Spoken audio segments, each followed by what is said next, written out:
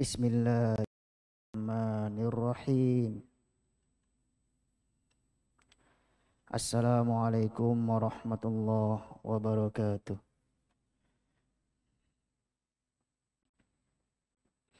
Alhamdulillah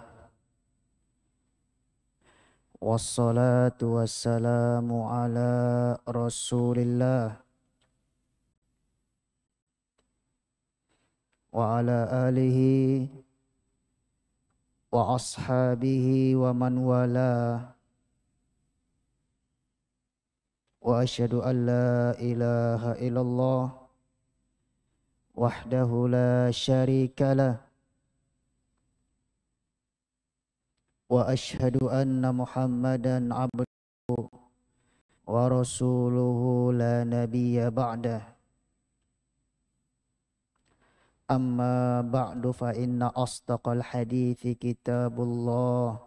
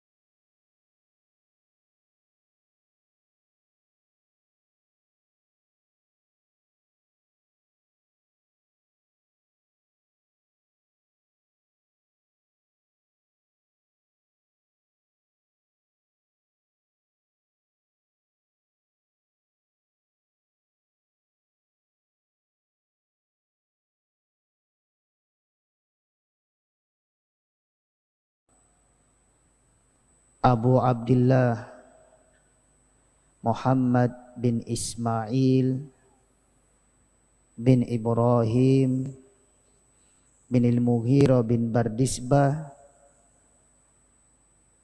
atau yang sering lebih kita kenal beliau dengan sebutan Imam Al-Bukhari. Rahimahullah subhanahu wa ta'ala di dalam sahihnya Maka marilah kita perhatikan bersama-sama apa yang akan kita bahas dalam pertemuan kali ini sebagai kelanjutan dari pertemuan yang sebelumnya. Qala al-Imam Abu Abdullah Muhammad bin Ismail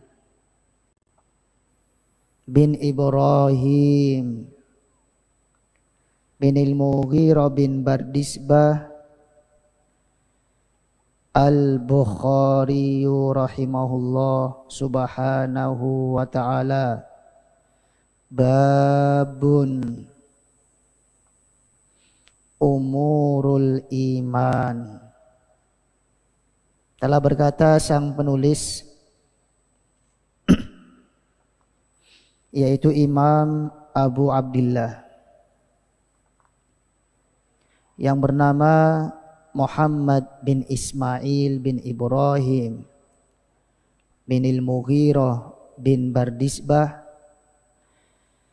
atau yang sering lebih kita kenal beliau dengan sebutan Imam Al-Bukhari. Semoga Allah Subhanahu wa taala senantiasa merahmatinya. Bab perkara-perkara keimanan. Ayuhal ikhwah azani wa azzakumullah. Jamaah salat maghrib yang dimuliakan oleh Allah Subhanahu wa taala. Di sini Imam Al-Bukhari akan mengajari kita semua tentang perkara-perkara yang dapat meningkatkan iman kita. Atau dengan bahasa lain, seorang muslim harus mengetahui cabang-cabang keimanan apa saja. Sehingga dengannya dia bisa meningkatkan imannya setiap hari yang telah dianjurkan oleh Nabi besar Muhammad sallallahu alaihi wa ala alihi wa wasallam supaya kita keimanannya semakin meningkat semakin sempurna. Dalam hadis riwayat Imam Muslim melalui sahabat Nabi Abu Hurairah radhiyallahu taala an Nabi besar Muhammad sallallahu alaihi wa ala alihi wa sahbihi wasallam pernah bersabda Al mu'minul qawi khairun wa ahabbu ila Allah minal mu'minil dhaif Orang beriman yang kuat itu lebih baik dan lebih dicintai oleh Allah Subhanahu wa taala daripada orang beriman yang lemah. Artinya sebagaimana yang pernah disampaikan oleh guru kami Fadilatul Syekh Muhammad bin Saleh Al-Utsaimin ialah orang yang beriman dengan kekuatan imannya. Bukan yang dimaksud oleh Nabi orang beriman dengan kuat fisiknya. Tetapi yang paling inti ialah dengan kuat imannya. Semakin seorang muslim meningkatkan imannya, maka akan semakin kuat dia. Dan nanti dia akan menjadi seorang muslim yang lebih baik, lebih dicintai oleh Allah Subhanahu wa taala. Dan kita mengetahui bersama pemahaman ahlu sunnati wal jamaah mengatakan bertambahnya iman seseorang semakin kuatnya iman seseorang dengan ketaatan kemudian akan semakin melemah dan berkurang iman seseorang dengan kemaksiatan. Maka sangat dibutuhkan oleh setiap muslim dan muslimah khususnya di zaman sekarang yang penuh dengan cobaan harus bersegera melakukan hal-hal yang bermanfaat. Memperhatikan perkara-perkara yang mendukung keimanannya semakin naik Dan itu sebagai amal solehnya dia. Yang nantinya pasti akan bermanfaat di hadapan Allah subhanahu wa ta'ala. Kalau kita tidak bersegera melakukan ketaatan-ketaatan, perkara-perkara yang menguatkan iman kita, maka niscaya kita akan semakin terkorbankan agamanya. Pernah ingat hadis riwayat Imam Muslim dari jalan sahabat Nabi Abu Hurairah badiru bil a'mal salihah. Fitanan ka qita'il lailil muzlim. Yusbihu rajulu mu'minan wa yumsi kafira. Wa yumsi mu'minan wa yusbihu kafira. Yabi'u dinahu bi'aradin minad dunya. Bersegeralah oleh kalian melakukan perbuatan-perbuatan baik. Ketaatan-ketaatan yang dengannya iman kalian akan semakin kuat. Bersegeralah. Jangan ditunda-tunda. Fitanan ka muzlim. Dalam rangka menghadapi suatu cobaan yang sangat cepat. Seperti potongan malam gelap gulita. Apa artinya sangat cepat? Yusbihur rajulu mu'minan. Seorang hamba yang beriman pagi harinya masih ada keimanannya. Wa yumsi kafiro. Ternyata karena dia nggak kuat menghadapi fitnah, cobaan, ditambah lagi dia selalu menunda-nunda kebaikan, sore harinya sudah dalam keadaan kafir. Wa yumsi mu'minan wa yusbihu kafiro. Atau bisa jadi sore hari masih beriman seseorang. Keesokan hari berikutnya sudah kafir. Yabi'u dinahu bi'aradin minad dunya. Karena dia berani melelang, menggadaikan imannya, agamanya hanya untuk mendapatkan perkara dunia yang dia inginkan. Oleh karenanya ikhwani wa akhwati fillah Hafidhakumullah subhanahu wa ta'ala Pembahasan kita petang hari ini sangatlah penting. Kita harus memahami benar Perkara-perkara iman itu apa saja Sehingga dengannya kita bisa terapkan dalam kehidupan sehari-hari kita. Dalam rangka menjadi seorang yang lebih baik dan lebih dicintai oleh Allah Subhanahu wa taala.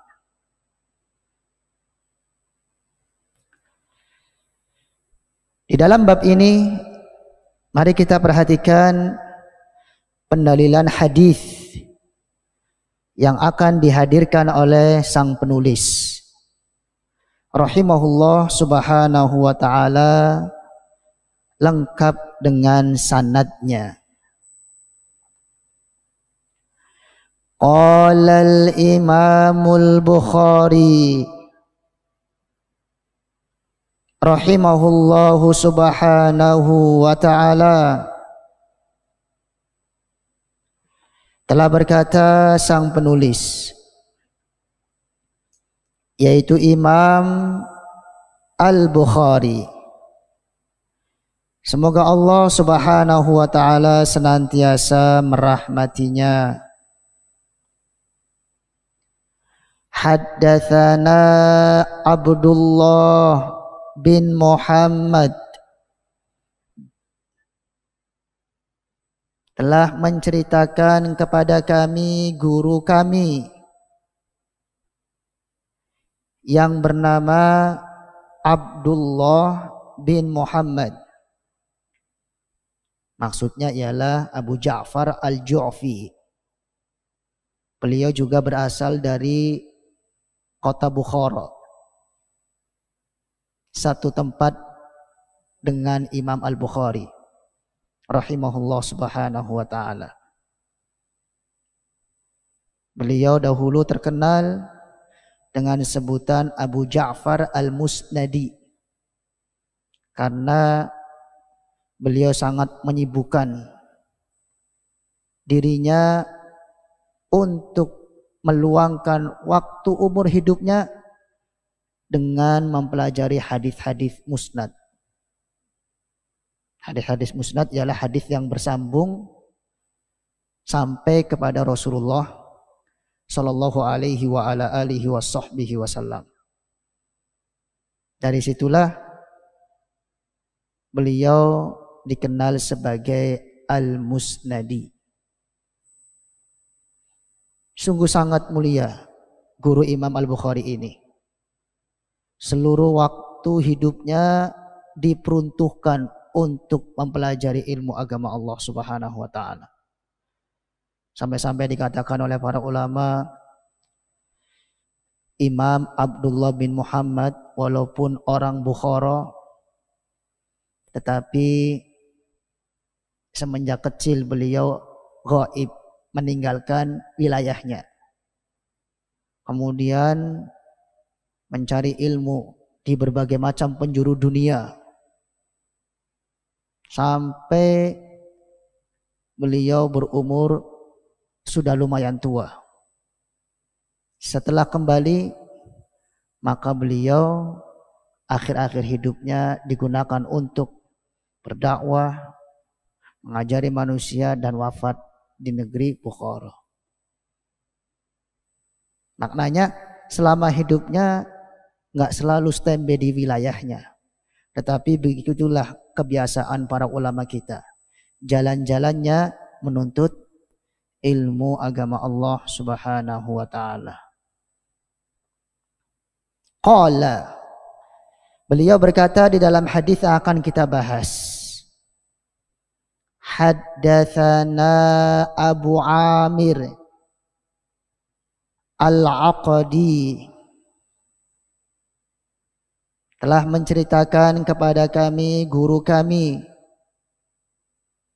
yang terkenal dengan sebutan Abu Amir Al-Aqdi. Berarti ini kunyah ya bukan nama. Adapun nama beliau Abdul Malik bin Amr Al-Aqadi rahimahullah subhanahu wa ta'ala. Beliau juga salah satu guru Imam Ahmad rahmatullah alaih. Qala haddathana Sulaiman bin Bilal Lalu Abu Amir Al-Aqadi mengatakan di dalam hadis yang akan kita bahas telah menceritakan kepada kami guru kami yang bernama Sulaiman bin Bilal. An Abdullah bin Dinar. Dari Abdullah bin Dinar. Abdullah bin Dinar ini seorang tabi'in yang masanya mendekati sahabat. Dan beliau banyak berguru di hadapan para sahabat Nabi khususnya Ibnu Umar. Banyak sekali riwayat Abdullah bin Dinar dari sahabat Nabi Ibnu Umar radhiyallahu taala anhumah. Imam Abdullah bin Dinar mengatakan an Abi Saleh dari guruku yang terkenal dengan sebutan Abu Saleh.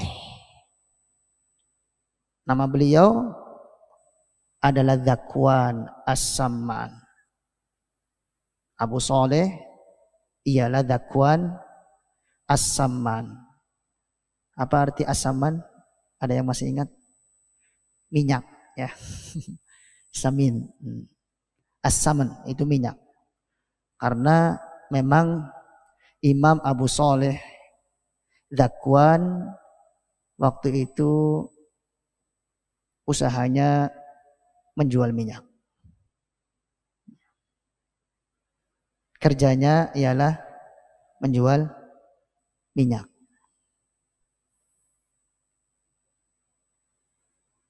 dan tidak menghalang-halangi beliau untuk belajar ilmu hadis. Apa pun profesi kita, jangan pernah malu mau menjual minyak, mau menjual sepatu, yang penting halal dan tidak menghalang-halangi kita beribadah kepada Allah Subhanahu wa taala. Imam Abu Soleh murid seniornya Abu Hurairah. Ayuhal ikhwah. Tetapi Enggak masalah. Kalau memang harus jualan minyak. Dan sejak itulah beliau terkenal dengan As-Samman. Namanya ialah Dakwan. An Abi Hurairah dari guruku yang terkenal dengan sebutan Abu Hurairah. Sahabat Nabi Muhammad sallallahu alaihi wa ala alihi wa sahbihi wasallam yang sangat terkenal. Nama beliau menurut pendapat yang lebih kuat dari perbedaan ulama ialah Abdurrahman bin Sokhr radhiyallahu taala an. Anin nabi. Dari nabi besar Muhammad sallallahu alaihi wa ala alihi wa sahbihi wasallam qala. Beliau pernah bersabda barulah ini kita akan beralih ke matan hadis.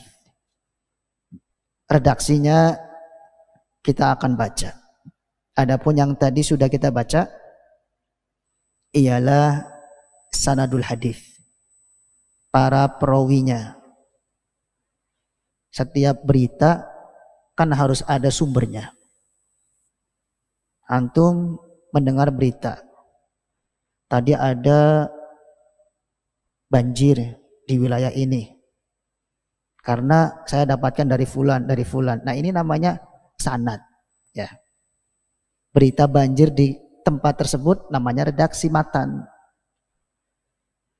Itu juga harus diketahui siapa saja yang membawa berita tersebut, sumbernya orang yang terpercaya atau tidak. Terlebih-lebih beritanya menyangkut sabda Rasulullah Shallallahu alaihi wa ala alihi wasallam yang Nabi pernah mengancam man kadzaba alayya muta'ammidan falyatabawwa maq'adahu minan nar. Barang siapa yang mendustakan atas nama saya dengan sengaja. Maka silahkan tunggu tempat kembalinya, tempat duduknya dia di dalam api neraka. Tidak boleh kita asal-asal Nabi bersabda misalkan. Ternyata setelah diteliti tidak ada sanatnya sama sekali. Dan ini termasuk apa? Mendustakan atas nama beliau sallallahu alaihi wa ala alihi wa sahbihi wasallam. Adapun yang akan kita pelajari sangat jelas. Imam Bukhari yang meriwayatkan hadis ini. Beliau bawakan dari semenjak zaman beliau sampai zaman siapa? Nabi. Perawi-perawinya. Dan ini dinyatakan rijalul ahadith. Para perawi hadis yang harus kita memperhatikannya. Apa yang akan disabdakan oleh Nabi untuk kita dalam pertemuan ini? Qala al-imanu keimanan itu bid'un wasittuna syu'bah terdiri dari 63 sampai 70 cabang. Bid'un dalam bahasa Arab artinya ialah bilangan 3 sampai 9. Kalau dinyatakan bid'un wasituna karena situna adalah 60 maka bid'un wasituna 63 sampai 69 70. Nabi jelaskan di hadapan kita dalam hadis ini. Cabang-cabang keimanan ada sekitar 63 sampai 70. Wal haya'u syu'batun minal iman dan sifat malu yang tumbuh dari hati seseorang syu'batun minal iman. Termasuk cabang dari keimanan. Redaksi hadis dalam riwayat Imam Bukhari sampai di sini. Namun kita mendapatkan di dalam riwayat-riwayat yang lainnya secara lengkap penyebutan tentang cabang-cabang keimanan. Maka Rasulullah bersabda di dalam lafaz yang lain, keimanan itu memiliki sekitar 63 sampai 69 70 cabang. Fa'alaha yang paling tinggi dari cabang keimanan qaulu la ilaha illallah. Ucapan seorang hamba kalimat syahadat apa? La ilaha illallah. Artinya yang paling tinggi untuk mempertahankan iman kita, menaikkan iman kita ialah perkara tauhid. Perkara apa? Perkara tauhid. Maka seorang muslim harus mementingkan tauhid. Karena tauhid dengan syahadat la ilaha illallah ialah cabang keimanan yang paling tinggi. Fa'alaha qaulu la ilaha illallah. Seorang muslim tanpa tauhid imannya akan hancur. Benar tidak? Meskipun dia banyak sedekah. Meskipun dia banyak membantu orang lain. Atau amalan-amalan soleh yang sering dia kerjakan tapi tanpa keimanan, tanpa tauhid pasti nggak ada gunanya. Perbuatan-perbuatan baik dia. Salah satu contohnya yang seperti kita ketahui ya, paman Rasulullah siapa? Abu Talib. Dia orangnya baik banget. Nabi aja dibela terus seumur hidupnya. Siapa yang mau menyakiti Nabi ibarat dikata langkai dulu mayatku. Ya enggak? Pamannya Abu, eh, pamannya Rasulullah Abu Talib. Kalau ada orang masuk Islam, senang Abu Talib. Tapi Abu Talib sendiri tidak memiliki kalimat la ilaha illallah. Bahkan sampai ketika dia mengalami sakaratul maut, ditalkin oleh Nabi, Qul ya ammi la ilaha illallah. Katakanlah olehmu wahai pamanku kalimat la ilaha illallah untuk yang terakhir kalinya ini. Kalimatan uhajulaka biha indallah. Dengan kalimat ini aku akan bisa membantu kamu nanti pada hari kiamat di sisi Allah Subhanahu wa taala. Ternyata sampai akhir hidupnya umurnya dia ditutup sempat memiliki kalimat la ilaha illallah? Tidak. Maka nggak ada gunanya nggak ada gunanya perbuatan-perbuatan baik yang selama ini dia lakukan untuk dakwah Rasulullah Shallallahu Alaihi wa ala alihi wasahbihi wasallam. Ini yang harus kita perhatikan. Nabi bersabda, keimanan banyak cabangnya. Yang paling tinggi ialah la ilaha illallah. Sehingga kita jangan pernah bosan untuk menjaga tauhid kita masing-masing. Jangan pernah bosan juga untuk belajar ilmu tauhid. Mengingat sejarah Nabi 10 tahun berdakwah khusus di Mekah perkara apa? Tauhid. Apakah waktu itu Nabi ajarkan umatnya puasa? Tidak. Di Mekah khusus tauhid. Sholat aja setelah 10 tahun ya ada hukum sholat.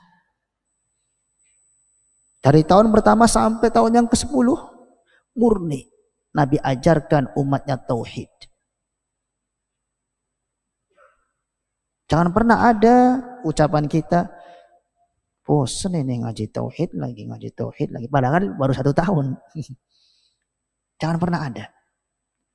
Sebab ini yang akan menyelamatkan iman kita.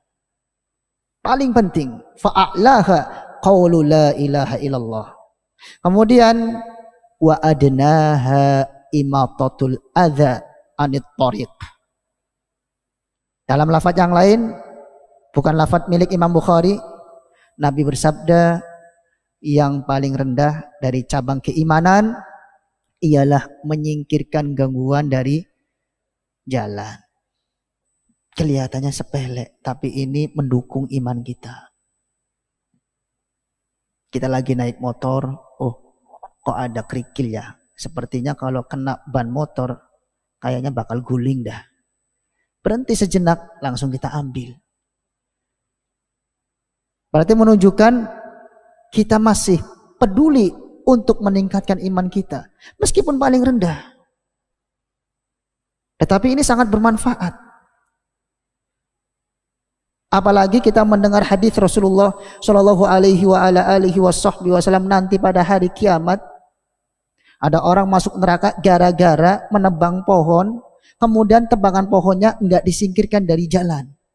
Akhirnya mengganggu pemakai jalan yang lain. Berarti menunjukkan bahwa keimanan memotivasi kita untuk menyelamatkan mukmin yang lain. Itulah keharusan mukmin. Sebagaimana yang Allah Subhanahu wa taala gambarkan dalam surat At-Taubah, al-mu'minuna wal mu'minat ba'duhum awliya'u ba'd. Ya'muruna bil ma'ruf wa yanhauna 'anil munkar. Orang-orang beriman, laki-lakinya ataupun perempuannya, sebagian mereka atas sebagian yang lain harus saling melindungi. Bukan malah saling menjatuhkan atau saling iri dengki saling memurkai. Kita ini bersaudara. Harus saling bahu membahu, mengokohkan persaudaraan kita.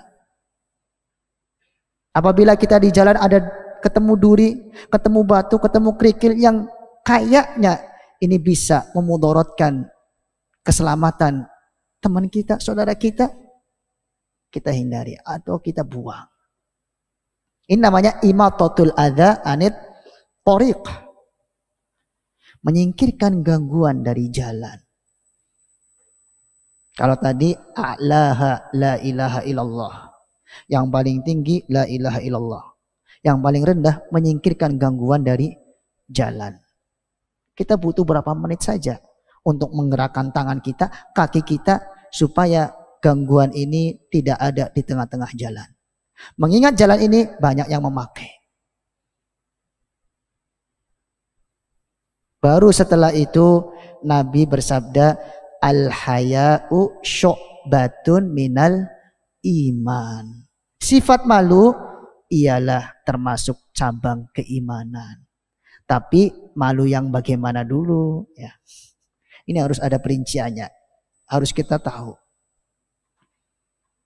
Karena malu yang dilakukan oleh manusia mungkin ada dua bagian malu yang terpuji dengan malu yang tercela.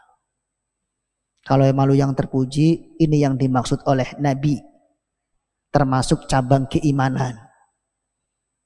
Ketika mendorong seorang muslim untuk meninggalkan maksiat. Mau ngambil duit yang jatuh dari dompet seseorang, malu itu kan milik orang lain. Malu dong kamu. Kalau mau dapat duit usaha sendiri, jangan kayak gitu. Mau pacaran berduaan, malu.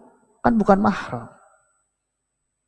Layak luan rajulun wa mra'atun illa syaitanu thalithuhuma.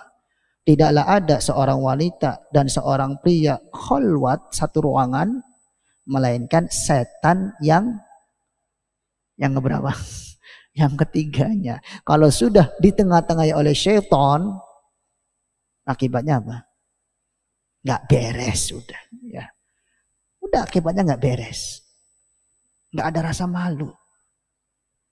Akhirnya seseorang yang malu langsung menghindari perbuatan-perbuatan yang dilarang oleh Allah Subhanahu wa taala. Malu ini yang dimaksud oleh Nabi cabang dari keimanan. Bahkan dalam lafaz yang lain la ya'tihi illa bi khair. Tidak akan mendatangkan kepada seorang hamba kecuali kebaikan. Al-Imam Syafi'i rahimahullah subhanahu wa ta'ala pernah didatangi oleh seseorang dengan menyuguhkan kepada beliau hadis. Menurut engkau hadis ini gimana? Kata Imam Syafi'i, itu sahih kan hadisnya? Iya. Terus kok masih tanya menurut saya? Apakah saya berani, nggak malu untuk menyelisih hadis sahih? Bumi siapa yang aku pijak? Langitnya siapa yang aku berada di di bawah naungannya? Kenapa datang kepadaku hadis sahih lalu aku tidak mau menerimanya? Beliau malu. Dan beliau ikrarkan kepada seluruh umat idza sahhal hadis fahuwa madhabi. Kalau ada hadis sahih itulah madhabku dan juga termasuk madhab kita semuanya. Kita malu untuk menolak hadis-hadis Rasulullah Shallallahu Alaihi wa ala alihi wasallam karena sudah sangat jelas sahihnya. Ini malu yang terpuji. Adapun malu yang tercela, ini yang sering kita dapati di sebagian kaum muslim.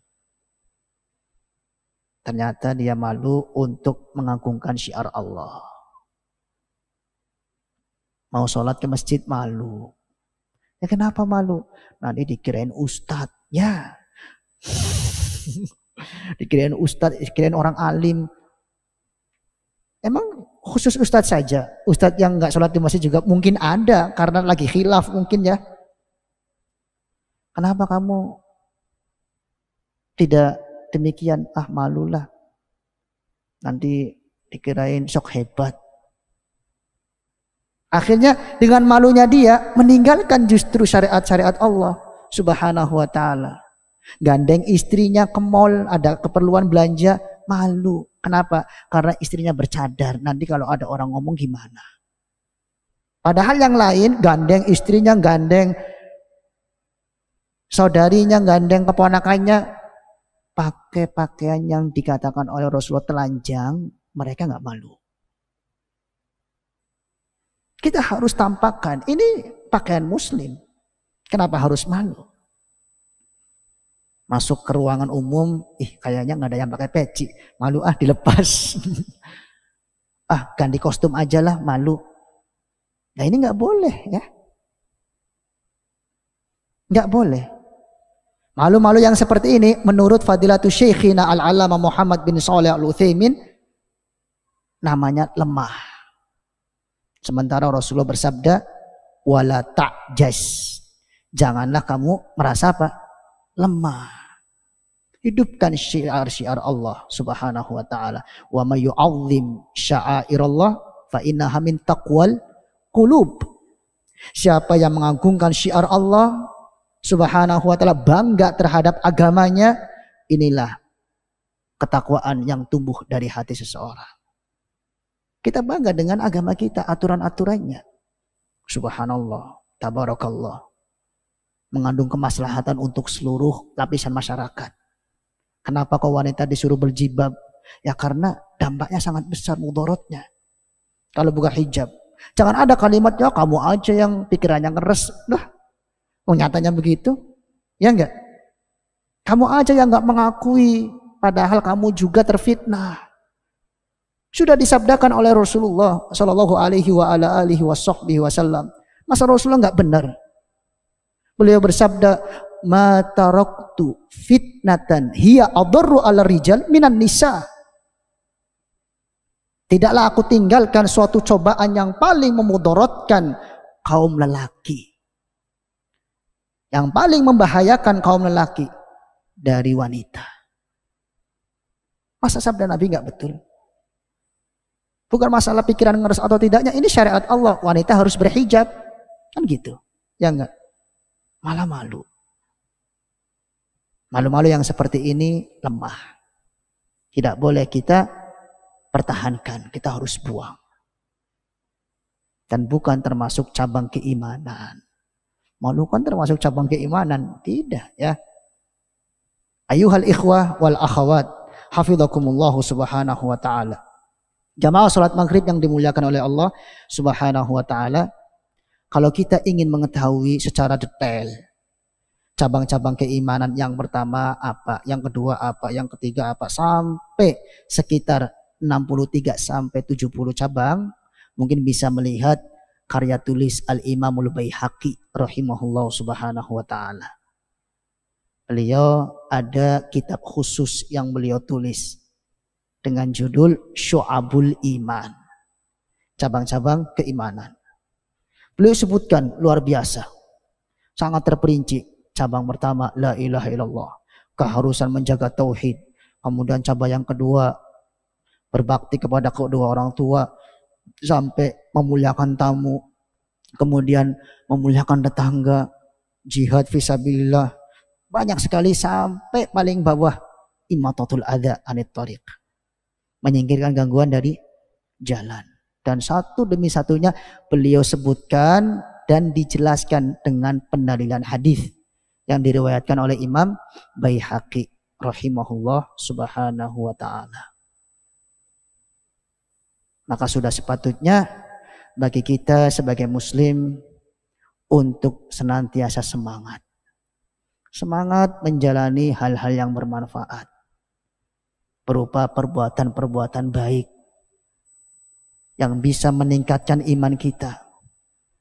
Janganlah kita terbuai dengan kemaksiatan-kemaksiatan yang selalu melemahkan iman kita. Pemahaman alusunah wal jamaah harus selalu kita ingat. Iman itu yazid bita'ah wa yanqus bil maksiyah. Bertambah dengan ketaatan. Kalau kita ingin terus bertambah keimanannya, cintailah kebaikan lakukanlah. Apabila ada kesempatan, segeralah. Kemudian jangan pernah kita terus-menerus cenderung kepada perbuatan jelek.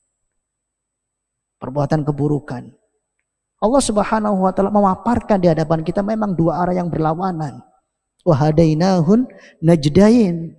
Kami paparkan di hadapan manusia dua arah yang berlawanan. Kita sebagai manusia yang diberi akal sehat oleh Allah Subhanahu wa taala harus bisa memilih jalan hidup kita yang benar. Sehingga nanti iman kita akan terus-menerus terjaga. Inilah salah satu tujuan besar kita mempelajari bab yang sekarang kita bahas umurul iman. Perkara-perkara keimanan atau dengan bahasa yang lain cabang-cabang keimanan. Allah taala alam bisawab. Mungkin sementara kita cukupkan sampai di sini kita gunakan waktu yang selebihnya barangkali ada yang mau bertanya falyatafaddal minkum mashkura.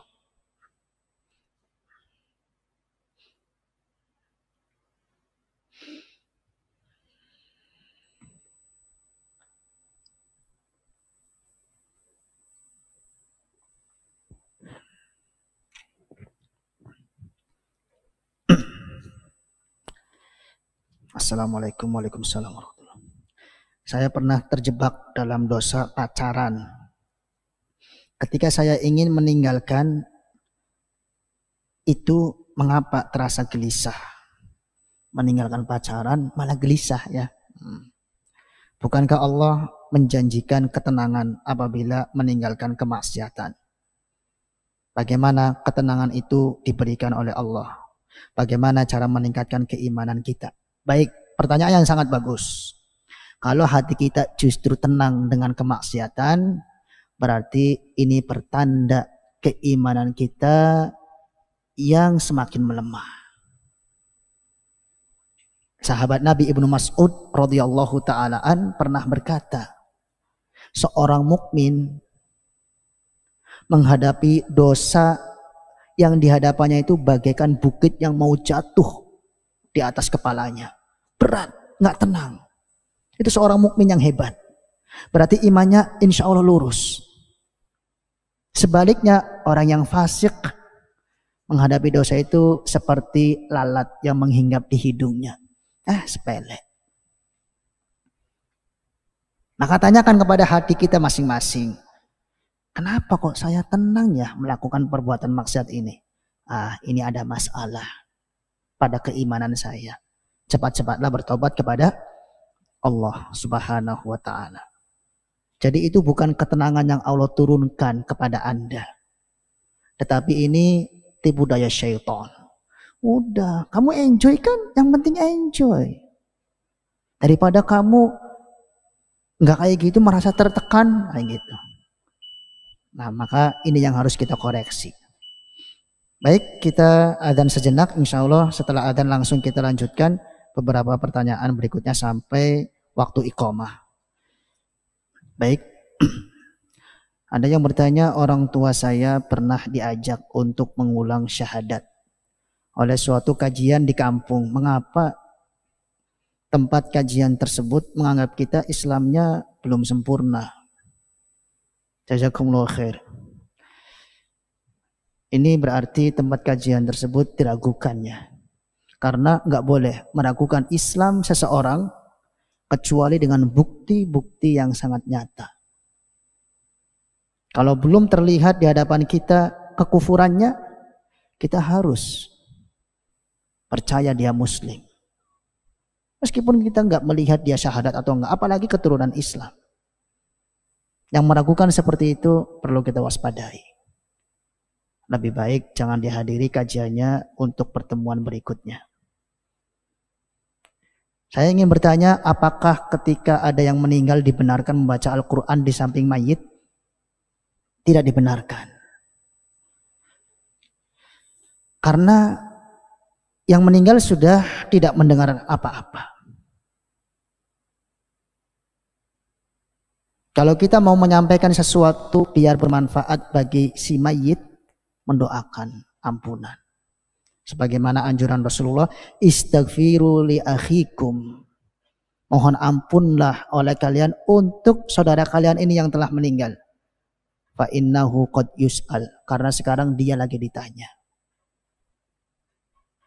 Adapun membaca Al-Qur'an apalagi membaca surat Yasin, mohon maaf saja tidak dibenarkan. Iqra'u ala mautakum Yasin, bacakanlah kepada orang yang meninggal dunia di antara kalian surat Yasin yang benar hadis tersebut dhaif. Wallahu a'lam bishawab. Saya mau bertanya apa kiat-kiat agama supaya iman kita selalu kuat. Tadi sebenarnya sudah terjawab. Biar kita keimanannya semakin kuat, cintailah kebaikan. Kemudian biasakanlah melakukan ketaatan kepada Allah Subhanahu wa taala. Dan jangan lupa mohon pertolongan supaya Allah mudahkan. Karena kalau kita semangat mau berbuat baik tanpa kehendak Allah bakal terjadi enggak? nggak bakal terjadi. Makanya Nabi bersabda, ihris ala fa'uk, bersemangatlah kamu untuk berbuat yang bermanfaat, wasta'in billah. Minta tolonglah kepada Allah, wala ta'jaz. Dan jangan merasa lemah. Mohon nasihatnya menghadapi teman yang diam-diam di belakang suka nyebarin fitnah tentang kita bahkan teman satu kajian. Hmm. Kalau misalkan keadaan teman kita begitu, kita mampu menasihatinya empat mata ya pelan-pelan kasih nasihat. Tapi kalau dia nggak ngaku, padahal beritanya sudah benar, dia menyebarkan fitnah, udah tawakal Allah. Kita udah berusaha. Insya Allah tidak akan memudorotkan kita. Nggak perlu adanya rasa cemas bagi kita. Karena hal itu nggak ada pada diri kita. Biar nanti yang lainnya bisa menilai sendiri. Nggak perlu takut.